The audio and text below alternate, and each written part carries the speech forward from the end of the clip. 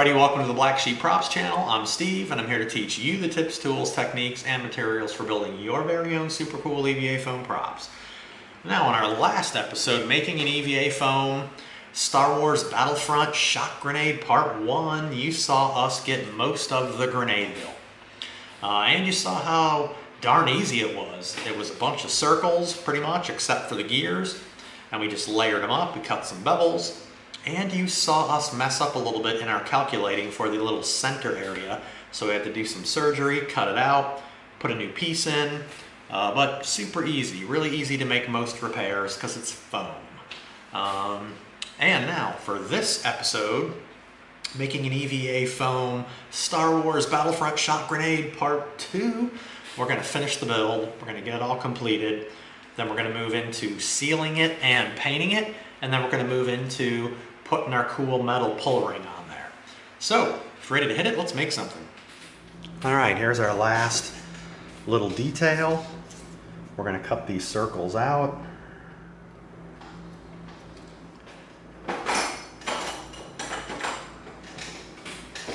With our little brass tube, and we're gonna get right in the center here and we are going to spin right through it.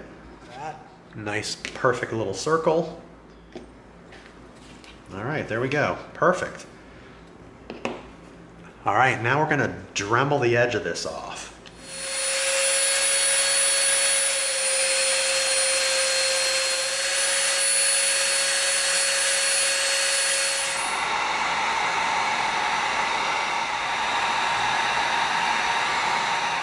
super glue down there. Now we're going to come in.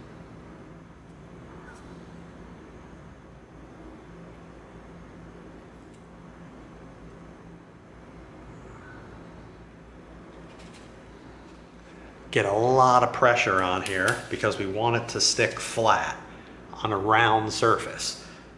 Okay, so now what we're going to do is we're going to drill through this piece because we're going to go out and seal this. We want to drill first. So we're going to drill a hole through here. You can see we got the little hole marked right there. Very simple. We're just going to come through and we're going to go right through that hole. let's get over here so you can see what we're doing. We're just going to go right through it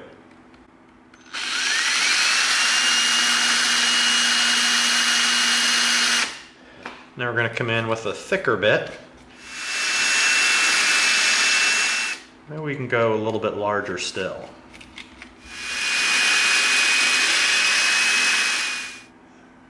Drilled right through it. Now we're going to seal it, and when we're done sealing it, we're going to attach this ring on the side. All right, let's head out to the spray stand and let's coat it. Okay, we're out at the spray stand. We're going to coat our shock grenade. And like we always say, even if you're in a well-ventilated area outside, do not spray without your respirator.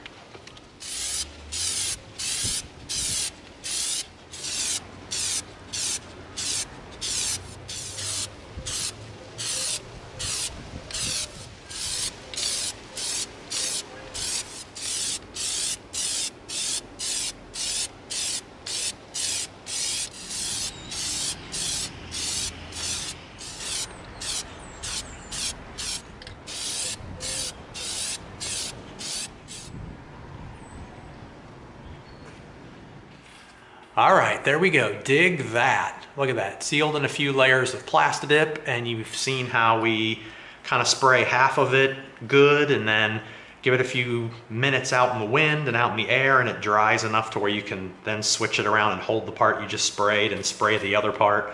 Um, or there's things you can invent, ways you can invent of holding it. You can drill a hole in it and stick a wire in it and hold it by the wire we drilled through this piece right here. We probably could have fed a wire through there and we could have held it on the wire and that way we wouldn't have had to touch it at all. But whatever you want, whatever works for you. So there we go. Sealed in Plastidip. We're gonna give this some time to set up and then uh, we're gonna paint it up. Nice. All right, time to paint. So what we're gonna do, really simple. We're gonna get silver all over our brush. We're not going to completely cover it. We're going to leave some kind of like slight see-through areas. All right, there we go. See that? How you can see some little like dark areas in the corners. And we're just gonna keep going. Now it doesn't matter if we hit silver on these two pieces that we're gonna be painting later because we'll paint right over that. So we're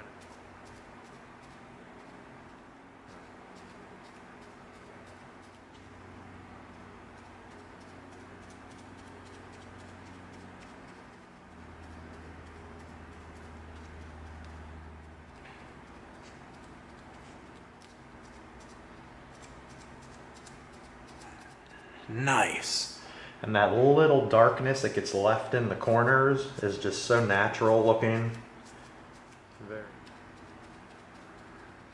All right, and then we've got the the black that stays inside the crack here, which is exactly the look we want. This is really starting to shape up nice. That is so cool. All right. All right. All right, now what we're gonna do is we're gonna come in with our brush. Just lightly drag across in here and it kind of fills it in a little bit but leaves little empty sections because it's dry brush. All right, now let's compare. All right, see in here? It's pitch black all the way at the bottom. We want some silver in there, so here's the fix. Look at that. Notice how it's not pitch black down at the bottom anymore. We used the dry brush and we just dragged a little bit across. That's nice. All right.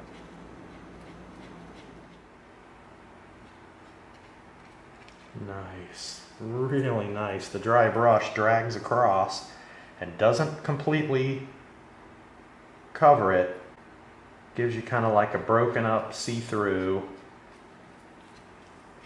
effect, which is exactly what we want. Gadzooks, that's cool. Check that out. Nice. Cool. All right, let's give this a little bit of time to set up. Then we'll start doing the other color. All right, now we've tested out a couple colors of paint. Right here we have this really, really light kind of gray blue called Silver Marlin. That's too light, but this is kind of the winner right here. We got some pewter that has this like blue metallic look. That's exactly what we want. So we're gonna come in.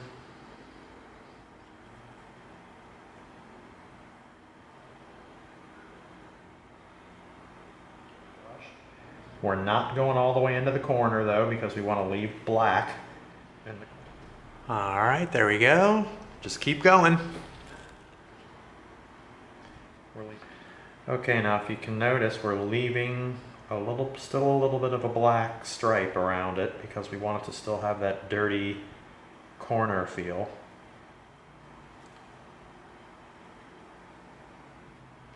All right, that's it. We're just gonna keep going. We're gonna go all the way around our top and bottom cylinder pieces.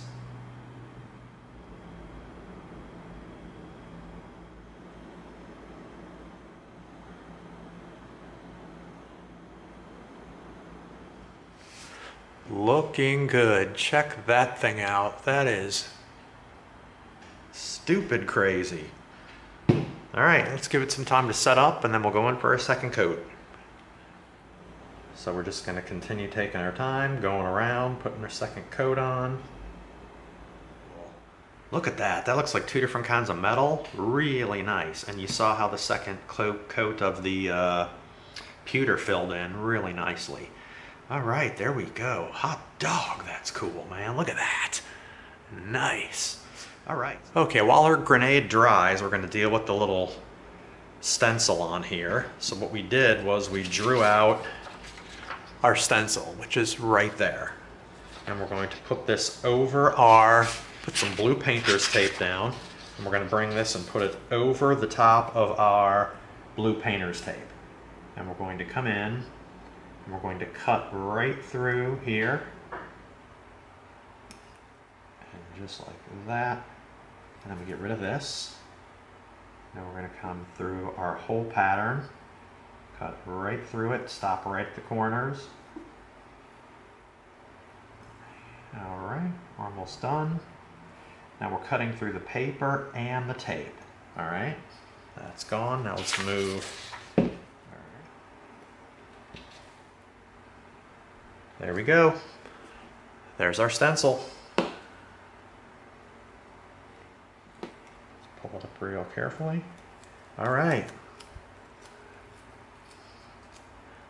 Nice, look at that. There's our stencil. really cool. Now,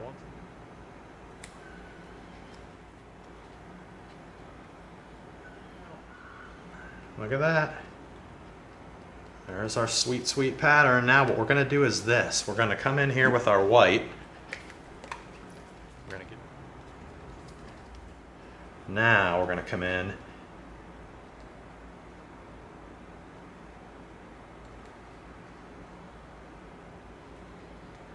and we're going to leave some gaps because we don't want it completely filled in. All right, there we go. We didn't completely fill it in and this is why. We're gonna come in. All right, dig that. Got the kind of worn off pieces on there. Nice, nice, nice, nice. That is really cool. Love it. All right.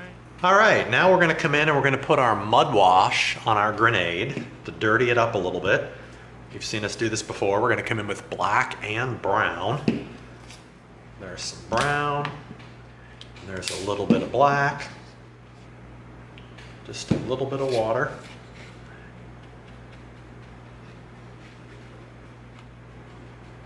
Now we're gonna come in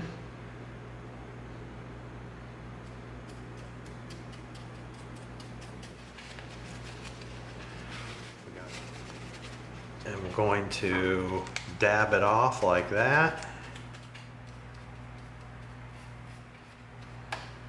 That's it. Just put it on, dab it off.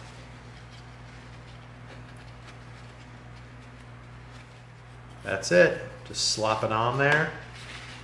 You don't you don't have to be neat.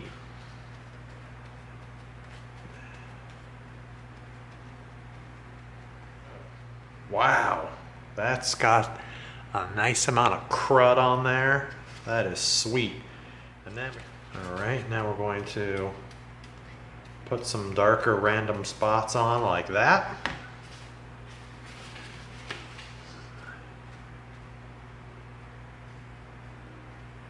And then you just leave it.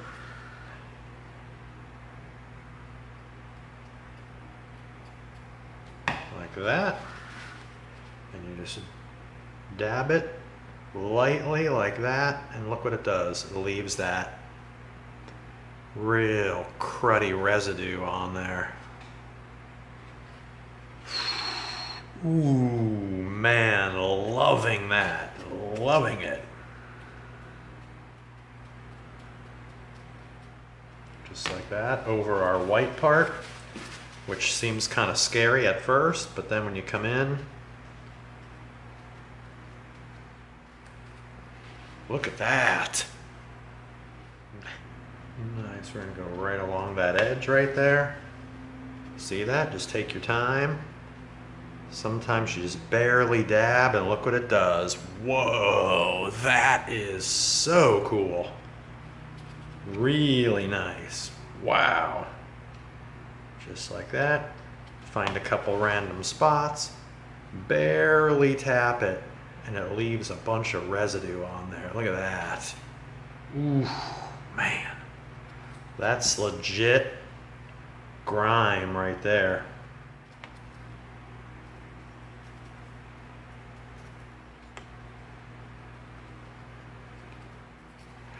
Dab it all around there. We're gonna come in with our paper towel. Dang, look at that. Man, that thing is covered in grime. That has a very nice effect. Look at that. Now we left a bunch of black in the crevices and stuff when we came in with our sponge brush, but that's not quite enough. When you come in with the mud wash, that really adds a nice layer of soot and grime. Um, perfect. You saw how easy that was. We came in with our mud wash. Little brown, little black, little water, not too much water got it kind of like a mud, and then we just went area by area, dabbed it off. And what's so cool too is as the rag starts kind of getting a little bit wet, it helps you kind of add a little bit extra exactly where you need it. So really cool. You'll get used to doing this really quick. It's a super easy technique. Um, what you got to do too is every once in a while you got to go back around and make sure you're you find any places that are still like really really wet because you don't want to like run over the side and that looks kind of bad. But wow, that is perfectly gross. All right, now we're going to come in with our cloth tape and we so we're going to start here we're going to wrap it around just like that. Really easy. Look at that. Now we're going to do the other side.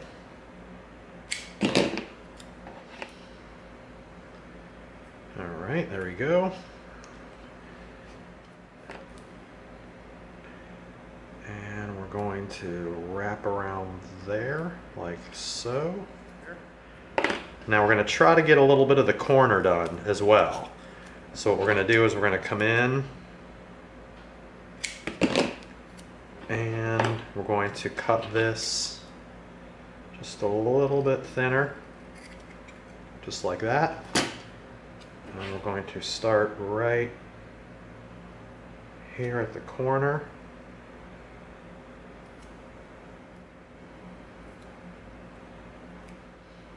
All right, nice. Look at that. Last one. We're going to cut it off. And then we're going to cut it a little bit thinner. Just for the corner. Start it in the corner. And this tape is really flexible so you can smooth it down.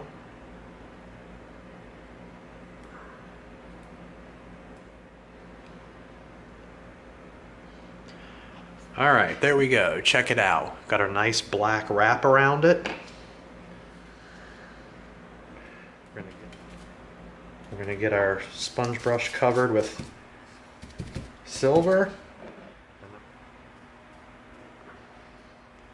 And we're going to just hit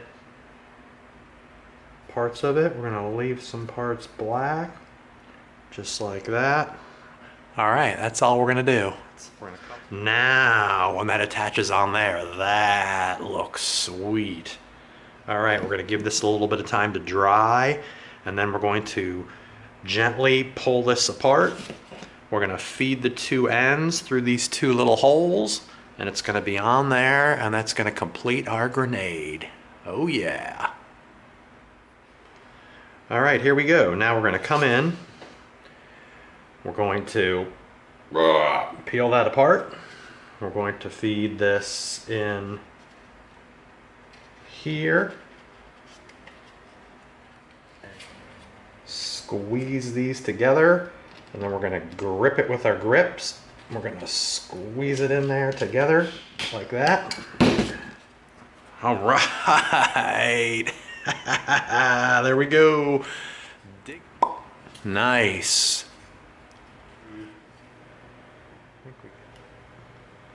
All right, there we go. All right, we've got a little bit of residue from the tape right here. See if we can get it off. All right, there we go. All right, another lesson in making a quick fix. This is a lot cleaner looking with the three pieces on there. So what we're gonna do now is we're gonna get a little bit of our silver out and we're gonna cover up where we didn't hit on the black tape, and then we'll be all set. All right, just a little bit.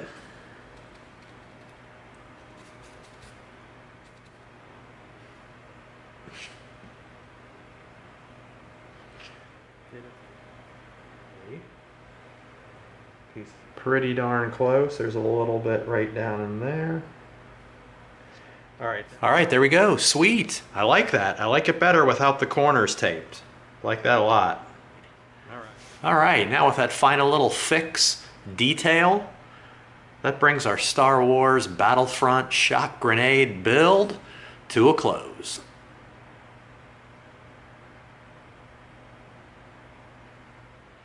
Boom, there you go. That easy. Piece of cake. All right, you saw how we finished the build, and then we moved into sealing it with black Plastidip and painting it. And uh, you saw how easy the paint job was. Three simple colors, two for the metal and one for the little white stencil on there. You saw us do a little stenciling, really easy stuff.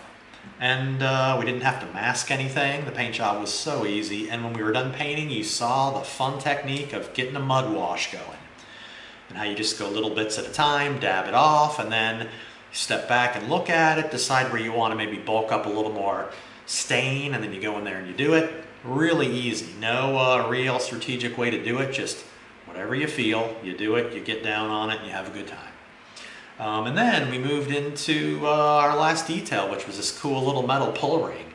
Uh, you saw how we bent the, the metal rod to be able to make it. You saw how we drilled through here. And you saw how we did a little revision on the fly here with the uh, tape around uh, the pull ring.